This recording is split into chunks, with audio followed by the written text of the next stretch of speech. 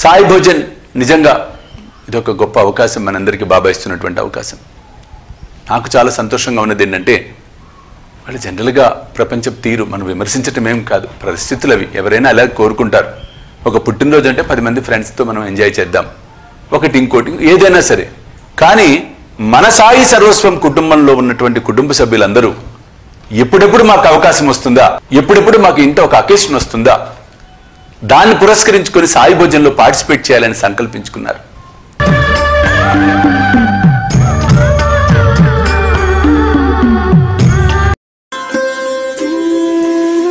ఆకలితో ఉన్నవారికి పట్టడన్నం పెడితే అది నాకే చెందుతుంది.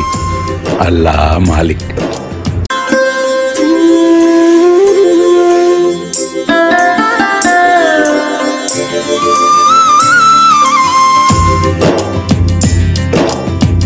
మానవ సేవే మాధవ సేవని బోధించినాడు ఒక బాబా. మానవ సేవే మాధవ సేవని బోధించినాడు ఒక బాబా. ఆ సత్వమూర్తి శ్రీ సాయి బాబా. షిరిడిలోన ఉన్నా షిరిడి సాయి బాబా.